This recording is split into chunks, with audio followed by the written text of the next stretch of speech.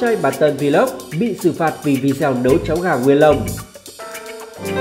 Chào mừng các bạn đã quay trở lại với kênh youtube Dân Trí. Thanh tra Sở Thông tin và Truyền thông tỉnh Bắc Giang quyết định xử phạt Hưng Vlog 7,5 triệu đồng vì cung cấp, chia sẻ thông tin không phù hợp với thuần phong mỹ tục của dân tộc. Chiều 10 tháng 9, Thanh tra Sở Thông tin và Truyền thông tỉnh Bắc Giang đã có buổi làm việc với Nguyễn Văn Hưng, tức Hưng Vlog, con trai bà Tần Vlog, sinh năm 1992, trú tại xã Xuân Hương, huyện Lạng Giang, Bắc Giang. Để xác minh làm rõ sự việc trên tài khoản YouTube của Hưng xuất hiện video nấu cháo gà còn nguyên lông gây bức xúc dư luận. Sau buổi làm việc, ông Lê Hồng Việt, tránh thanh tra Sở Thông tin và Truyền thông tỉnh Bắc Giang đã ký quyết định xử phạt vi phạm hành chính đối với Nguyễn Văn Hưng. Theo quyết định, Nguyễn Văn Hưng đã thực hiện hành vi vi phạm hành chính, cung cấp, chia sẻ thông tin không phù hợp với thuần phong mỹ tục của dân tộc, đăng tải trên tài khoản mạng xã hội YouTube Hưng Vlog video chôn em gái, em trai ăn nồi cháo gà nguyên lông và cái kết. Với hành vi này, YouTuber Hưng Vlog bị xử phạt vi phạm hành chính 7,5 triệu đồng theo điểm B, khoản 1, điều 101, Nghị định số 15 2020 NDCP ngày 3 tháng 2 năm 2020 của Chính phủ quy định về việc sử dụng dịch vụ mạng xã hội. Cụ thể, theo điểm B, khoản 1, điều 101, Nghị định 15 2020 quy định phạt tiền từ 10 triệu đồng đến 20 triệu đồng đối với hành vi lợi dụng mạng xã hội để thực hiện một trong các hành vi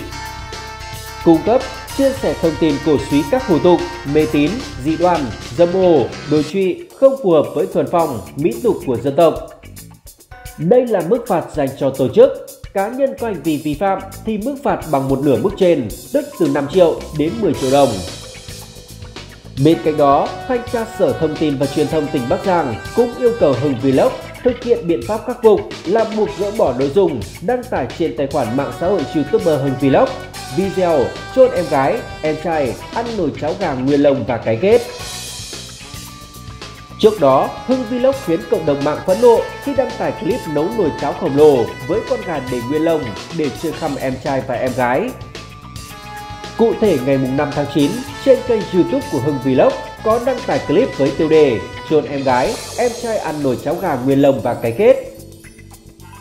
Trong video Hưng tiết lộ vì nhà có rất nhiều gà nên hôm nay mình sẽ bắt nguyên con bỏ vào nồi nấu cháo để chôn em trai và em gái. Nghĩ đến em gái và em trai mình ăn nồi cháo gà nguyên lông này chắc buồn cười lắm.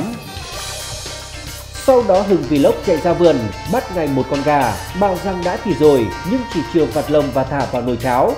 Khi đang ăn cháo, nhìn thấy con gà còn nguyên lông trong nồi, cô em gái liền phun hết đồ ăn trong miệng ra. Ngay sau khi đăng tải, clip của Hưng Vlog nhận về rất nhiều chỉ trích từ cộng đồng mạng. Dù làm clip với mục đích vui là chính, nhưng nhiều ý kiến cho rằng nội dung clip nấu nồi cháo gà nguyên lông là tàn nhẫn, lãng phí thực phẩm và mất vệ sinh. Đây không phải lần đầu tiên con trai bà Tân Vlog bị phản ứng vì làm clip với nội dung không lành mạnh, gây lãng phí thực phẩm, mất an toàn vệ sinh. Trước đó, Hưng Vlog cũng bị chỉ trích vì liên tục làm clip nấu cơm bằng các loại nước ngọt có gà, tất cả đều là để gài bẫy mẹ ruột.